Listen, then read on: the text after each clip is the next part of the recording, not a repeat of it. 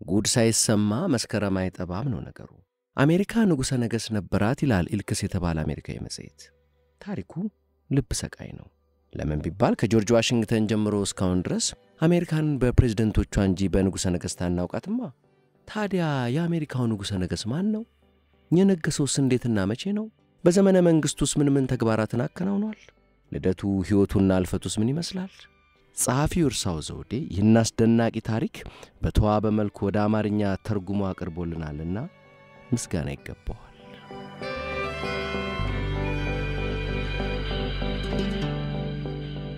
ባለታሪኩ የአሜሪካ ንጉሠ ነገሥት ነበር ይላል ኢልክስ መጽሔት። ጆሹዋ አብርሃም ኖርተን ይባላል። መጽሔቱ እንደሚለው ኖርተን የመጀመሪያውም የመጨረሻውም የአሜሪካ ንጉሠ ነገሥት ነበር። የአሜሪካንን ኮንግረስ በአዋጅ አፍርሷል። የሥልጣን ሹምሽር አካሂዷል። ለአብነት ለመጥቀስ ያክል የቨርጂኒያውን ገዢ ሄንሪ ዋይዝን አንስቶ የኬንታኪውን ጆን ብሬክሪጅን በምትኩ ሾሟል። በዚህ ብቻ አላበቃም። በአሜሪካ አሰፍኖ የኖረው ሪፐብሊካዊ አስተዳደር ሥርዓት ተወግዶ ንጉሣዊ አገዛዝ የተተከለ መሆኑን በማወጅ ራሱን ግርማዊ ቀዳማዊ አሰኝቷል። ይህ ሁሉ ሲሆን የአሜሪካ ፌዴራላዊ መንግሥትም ሆነ በስሩ የሚገኙ ግዛቶች ምንም ተቃውሞ አላቀረቡም። እንዲያውም ዕውቅና የመስጠት ዝንባሌ አሳይተዋል። የልዩ ልዩ ግዛቶች ገዢዎች head of states ለንጉሠ ነገሥቱ የእንኳን ደስ ያሉት መልእክት አስተላልፈዋል። ብዙ ከተሞች እንዲያውም የተገላቢጦሽ ቀዳማዊ ኖርተን ለእነሱ ዕውቅና እንዲሰጣቸው ጠይቀዋል። በሳን ፍራንሲስኮ የሕግ አውጪ ምክር ቤት ውስጥም ለንጉሠ ነገሥቱ የተለየ የክብር ወንበር ተዘጋጅቶለታል። ከዚህ ባሻገር ቀዳማዊ ኖርተን እንደ ማንኛውም ንጉሥ ግብር ያስገብር ነበር።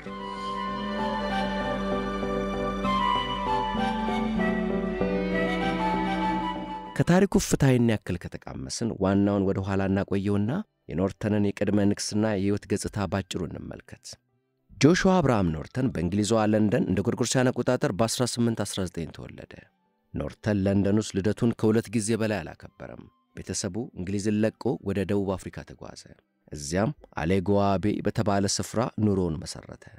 የኖርተን አባት በንግድ ሥራ በመሰማራት የዕቃ መጋዘን ሰርቶ እያከራየ ቤተሰቡን በጥሩ ኑሮ ማስተዳደር ጀመረ። ይህ የንግድ ሥራ ለሕፃኑ ኖርተን የወደፊት ሕይወት መሠረት የጣለ ነበር። የኖርተን ቤተሰብ በደቡብ አፍሪካ በለስ እንደቀናው አልዘለቀም። ጨካኙ መልአከ ሞት ሰይፉን መዞ በቤተ ዘመዱ ላይ ተነሳበት። ኖርተን ምትክ አልባ እናቱን አጣ። አክስት አጎት አልተረፈውም፣ በተከታታይ ያለቁበት። አባቱም በጠና ታሞ ወደ እንግሊዝ ከተመለሰ በኋላ አረፈ። ኖርተን ያለ ቤተሰብ ብቻውን ቀረ። በዚህ ጊዜ ነበር አባቱ ያወረሰውን 30 ሺህ ፓውንድ ይዞ ወደ አሜሪካ የተጓዘው። ኖርተን አሜሪካ እንደደረሰ መቀመጫውን በሳን ፍራንሲስኮ በማድረግ አጠቃላይ የንግድ ሥራ ኩባንያ አቋቁሞ መንቀሳቀስ ጀመረ። በወቅቱ በሳን ፍራንሲስኮ የወርቅ ማዕድን ልማት ተጧጥፎ ስለነበር ብዙ ሕዝብ ለሥራ ወደ አካባቢው ይጎርፍ ነበር። ይህም ለኖርተን የንግድ ሥራ ምቹ ሁኔታ ፈጥሯል። ኢንቨስትመንቱን በማስፋፋት የሲጃራ ፋብሪካ ከፈተ። በከተማው የቻይና community ቁጥሩ በከፍተኛ ሁኔታ እየጨመረ መሄዱን በማገናዘብ የሩዝ መሸጫ አቋቋመ። በዚህ አይነት በገበያ ውስጥ ያለው ድርሻ እያደገ ሄደ። በ1851 ዓ ም ኖርተንን ጨምሮ ታላላቅ የሳን ፍራንሲስኮ ነጋዴዎች በሚሰሩበት የገበያ ስፍራ ከባድ የእሳት አደጋ ተነሳ። ቢሮዎችና ሱቆች ጋዩ። በመጋዘን ውስጥ የነበሩ የንግድ ዕቃዎችና ሸቀጣሸቀጦች ወደ አመድነት ተለወጡ። በባለጸጋነት መስፈርት ቢጠሩት አይሰማም የሚባልለት ቱባ ቱባ ቱጃር ሁሉ በቅጽበት ባዶ እጁን ቀረ። የአንዱ ሞት ለሌላው ሕይወት እንዲሉ ለኖርተን ግን ቃጠሎ ሲሳይ ነበር ያመጣለት። ኖርተን ከፋብሪካዎቹ የሚወጡትን ምርቶችና ሌሎችንም የንግድ ሸቀጣሸቀጦች የሚያከማቸው በተለመደው ተራ መጋዘን ሳይሆን በመርከብ ውስጥ ነበር። ከአገልግሎት ውጭ የሆነ አሮጌ መርከብ ገዝቶ እንደ መጋዘን ተጠቅሞበታል። በመሆኑም ገበያው በጋየበት ወቅት የእሱ የዕቃ ክምችት በሌላ ቦታ መርከብ ውስጥ ስለነበር ጉዳት ሳይደርስበት ሊቀር ችሏል። እንዲያውም ቃጠሎ ተጨማሪ የንግድ መስክ ከፍቶለታል። ትላልቅ ሕንፃዎችን እየሠራ ድርጅታቸው በቃጠሎ ለወደመባቸው ነጋዴዎች ቢሮና ሱቅ ማከራየት ጀመረ። የኖርተን ተወዳዳሪዎች በቃጠሎ ምክንያት ከስረው እንደገና ከባዶ ሲጀምሩ፣ እሱ ግን አጋጣሚ በፈጠረለት ዕድል ተጠቅሞ ከፍተኛ ትርፍ በማግበስበስ በአጭር ጊዜ ውስጥ ቁንጮ ባለጸጋ ሆኖ በንግዱም ሆነ በሌላው የህብረተሰብ ክፍል ዘንድ ታላቅ ክብርና ዝና አገኘ። ባልንጀሮቹና ባልደረቦቹ ሁሉ ንጉሠ ነገሥቱ በሚል ቅጽል እያሞካሹ ይጠሩት ጀመር። ሆኖም የኖርተን የንግድ ሕይወት ስኬታማ እንደሆነ ብዙ አልዘለቀም። ሀብቱ ክብርና ዝናው ሁሉ በአሸዋ ላይ እንደተሠራ ቤት በድንገት መናድ ጀመረ። ረብጣ ዶላር ለማፈስ የታለመው ዕቅድ ነበር ለውድቀቱ ምክንያት የሆነው። ነገሩ እንዲህ ነው። ወቅቱ ቻይና በረሃብ አደጋ የተጠቃችበት ነበር። በዚህም የተነሳ የቻይና መንግሥት ሩዝ ወደ ውጭ አገር እንዳይላክ ስላገደ በሳን ፍራንሲስኮ ገበያ ከፍተኛ የሩዝ እጥረት ተፈጠረ። የአንድ ፓውንድ ሩዝ ዋጋ ከ4 ሳንቲም ወደ 36 ሳንቲም አሻቀበ። በዚህ ጊዜ ነበር አንድ የንግድ መርከብ ወኪል 200 ሺህ ፓውንድ ሩዝ የጫነ መርከብ ከፔሩ ተነስቶ ወደብ መድረሱንና ጭነቱን በጅምላ 25 ሺህ ዶላር ገዝቶ በአካባቢው ብቸኛ ሩዝ አቅራቢ በመሆን ዳጎስ ያለ ትርፍ ሊያግበሰብስ እንደሚችል ለኖርተን ሹክ ያለው። ኖርተንም ብቸኛ አቅራቢ ሆኖ ሩዙን በወቅቱ የችርቻሮ ዋጋ 72000 ዶላር ሊቸበችበው እንደሚችል አሰላና በፍጥነት ውል ተፈራርሞ ግዢውን ፈጸመ። ነገር ግን እንዳሰበው ኖርተን በአካባቢው ብቸኛ ሩዝ አቅራቢ አልሆነም። ባልተጠበቀ ሁኔታ በማግስቱ ሩዝ የጫነ ሌላ መርከብ ከፔሩ ገስግሶ ደረሰ። ሌላው ደግሞ ሰለሰ። ገበያው በሩዝ እስኪጨናነቅ ድረስ መርከቦች ተክተለተሉ። ኖርተን ቀደም ሲል ሩዙን የገዛው አንዱን ፓውንድ በ13 ሳንቲም ሂሳብ ሲሆን አሁን ግን የአንድ ፓውንድ የሩዝ የችርቻሮ መሸጫ ዋጋ ወደ 3 ሳንቲም አሽቆለቆለ። ኖርተን የፈረመውን የግዢ ውል ማፍረስ ግድ ሆነበት። ሻጭም በፍርድ ቤት ፋይል ከፈተ። ድፍን ሦስት ዓመት ተሟገተ። ኖርተን በክርክሩ ሂደት ለጠበቃና ለሌሎችም ተዛማጅ ጉዳዮች ያወጣው ወጪ ኪሱን ክፉኛ ከሳው። ጭራሽ አጠቃላይ የኢኮኖሚ ቀውስ ተከሰተና ሸቀጦች ገዢ በማጣት ወደብ ላይ ተከማችተው በሰበሱ። በዚህም ምክንያት ከባንክ የተበደረውን ገንዘብ መክፈል ስላቃተው ባንኩ በዋስትና የያዛቸውን ንብረቶቹን ሸጠበት። ኖርተን ቁልቁለቱን ተያያዘው። የተለያዩ የንግድ መስኮችን እየለዋወጠ ራሱን ከውድቀት ለማዳን ቢፍጨረጨርም ከወደቁ ወዲያ መንፈራገጥ ሆነበት። ኢኮኖሚያዊ የበላይነቱ ሲንኮታኮት ማኅበራዊ ተቀባይነቱንም አጣ። ንጉሠ ነገሥቱ እያሉ ያሞካሹት የነበሩ ሁሉ ለዐይናቸው እንኳ ጠሉት። በመጨረሻም ኖርተን ዕድል ፊቷን እንዳዞረችበት በመገንዘብ የቀሩትን ንብረቶቹን የጭን በቅሎውን ሳይቀር በኪሳራ ሸጦ እዚህ ገባ ሳይባል በድንገት ከሳን ፍራንሲስኮ ተሰወረ። ይህ ሆነው በጎርጎርሳውያኑ 1859 መጀመሪያ ላይ ነበር። ከዘጠኝ ወራት በኋላ አንድ ቀን ረፋድ ላይ አሮጌ የባሕር ኃይል የደንብ ልብስ የለበሰ ጸጉረ ልውጥ ሰው በሳን ፍራንሲስኮ ጎዳናዎች ላይ ታየ። ሰውየው ሳን ፍራንሲስኮ ቡሌቲን ወደ ተባለ ጋዜጣ አሳታሚ ድርጅት በመሄድ ላዘጋጁ አንድ ጽሑፍ ሰጠውና ጋዜጣው ላይ እንዲያወጣው ጠየቀው። ጽሑፉ ያልተጠበቀ አስገራሚ ነገር ይዟል። አዘጋጁ ደጋግሞ አነበበውና ለመቀበልም ለመተውም ብዙ አመነታ። በመጨረሻ ግን ጥሩ ገበያ ሊስብለት እንደሚችል በመገመት ጋዜጣው ላይ ሊያወጣው ወሰነ። በማግስቱ ጋዜጣው በድፍን አሜሪካ የሚከተለውን አዋጅ አስነበበ።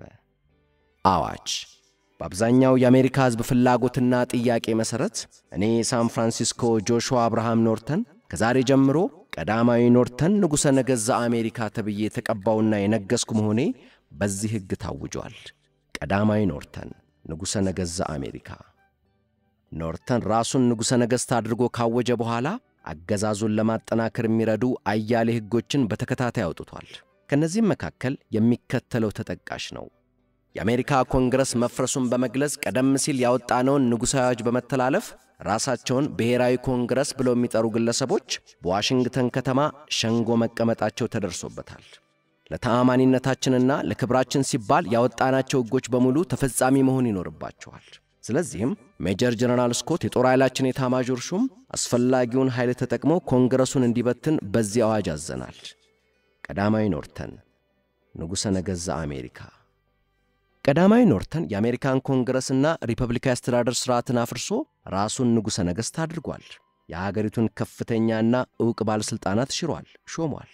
ከዚህም ሌላ ነጋዴዎች ለንጉሠ ነገሥቱ የሚያስፈልገውን ሁሉ እንዲያቀርቡ ቀጭን ትእዛዝ አስተላልፏል። እነዚህ በፖለቲካው ረገድ የሚጠቀሱ አበይት ተግባራት ሲሆኑ በልማቱ ዘርፍ ደግሞ ትላልቅ ድልድዮች እንዲገነቡ፣ ዘመናዊ የባቡር ሐዲዶች እንዲዘረጉና አውሮፕላኖች እንዲሰሩ መመሪያ ሰጥቷል። ይህን ሁሉ የሚያደርገውም አዋጅ በማውጣት ነበር። ቀዳማዊ ኖርተን አዋጅ ባወጣ ቁጥር የጋዜጦች ገበያ ይደራል።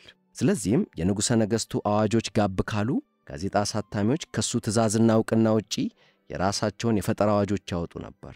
አንዳንድ ጸሐፊዎች ኖርተን በሥልጣን ጥም የሰከረ ሕልመኛ ነበር ይላሉ። ይህም ካልሆነ አእምሮን ነካ የሚያደርገው መሆን አለበት በማለት አማራጭ ሐሳብ ያቀርባሉ። ብዙዎች ግን በዚህ አይስማሙም።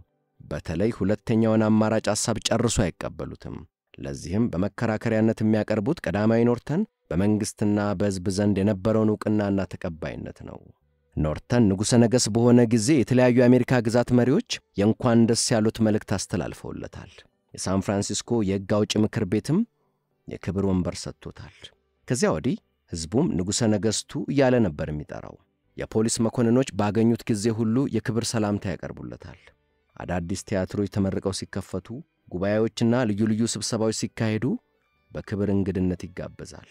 ከዚህ ባሻገር የፌዴራሉ መንግሥት በ1870 ዓ ም ባካሄደው አገር አቀፍ የሕዝብ ቆጠራ በኖርተን የግል ማኅደር ላይ ሥራ በሚለው መጠይቅ ስር ንጉሠ ነገሥት ተብሎ ተመዝግቦ ይገኛል። ማርክ ትዌን፣ ሮበርት ሉዊስ ስቴቨንሰን እና ሌሎችም በወቅቱ የነበሩ ዕውቅ ጸሐፊዎች በጽሑፎቻቸው ውስጥ ንጉሠ ነገሥቱ እያሉ ጠቅሰውታል። ካርዶችና ሌሎች የስጦታ ዕቃዎች በስሙ ተዘጋጅተው ገበያ ላይ ውለዋል። የቱሪዝም ንግድ አስተዋዋቂዎችም በስሙ ተጠቅመው ንግዳቸውን አስፋፍተዋል። ሌላው የቀዳማዊ ኖርተን ንጉሣዊ መገለጫ ግብር መሰብሰቡ ነበር። ግብሩን የሚሰበስበው እሱ ራሱ በየንግድ ድርጅቶቹ እየዞረ ነበር። አብዛኛውን ጊዜ የሚጠይቀው ግብር በሚሊዮን ዶላር የሚቆጠር ቢሆንም ግብር ከፋይ ነጋዴዎች ከሁለት እስከ ሦስት ዶላር በላይ መክፈል አቅም እንደሌላቸው በመግለጽ ምሕረት እንዲደረግላቸው ስለሚጠይቁት ለወደፊቱ እንዲጠነቀቁ ይመክራቸውና የሰጡትን ተቀብሎ ይሄዳል። የኑሮ ውድነት ከዓመት ዓመት እየጨመረ በመሄዱ ከግብር የሚሰበስበው ገንዘብ ብቻ ለንጉሠ ነገሥቱ በቂ ሊሆን አልቻለም። በመሆኑም ቀዳማዊ ኖርተን የግምጃ ቤት ሰነዶችን እያተመ ለቱሪስቶች መሸጥ ጀመረ። ሰነዶቹ 7% ወለድ ቃል የተገባላቸው ሲሆኑ ተከፋይ የሚሆኑትም በ1880 ዓ ም ላይ ነበር።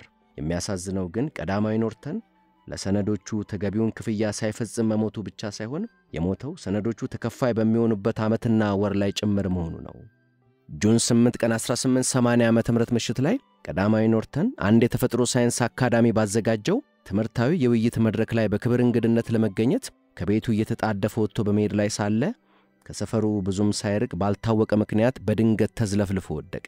ወዲያውኑ ሕሊናውን ሳተና ሐኪም ዘንድ ከመድረሱ በፊት ሕይወቱ አለፈ። ድንገተኛ እረፍቱ ሁሉንም አሳዝኗል። በአስር ሺዎች የሚቆጠሩ ሰዎች በዕለቱ ይወርድ የነበረው ዝናብም ሳይበግራቸው በብር በተለበጠው የንጉሠ ነገሥቱ የሬሳ ሳጥን ፊት በማለፍ የመጨረሻ ስንብት አድርገውለታል።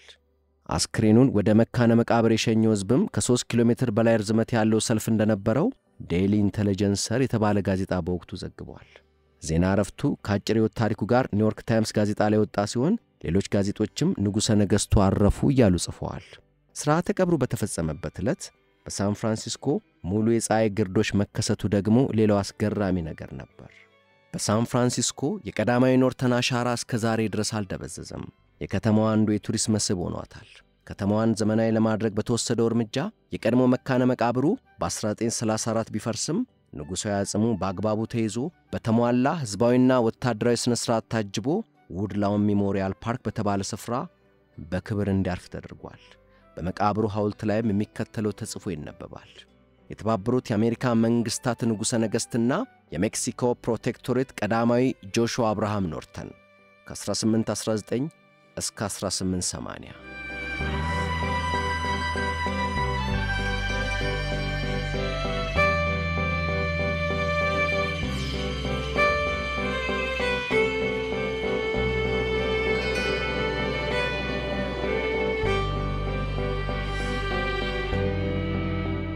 የቀዳማዊ ኖርተንን ታሪክ እንዴት አገኛችሁት? አስደናቂ ነው አይደል? እስቲ የተሰማችሁን በአስተያየት መስጫው ላይ ያስፍሩልኝ። ይህንንም ሌሎችንም የቻናሌን ትረካዎች ማጋራታችሁን አትርሱ። ሰላም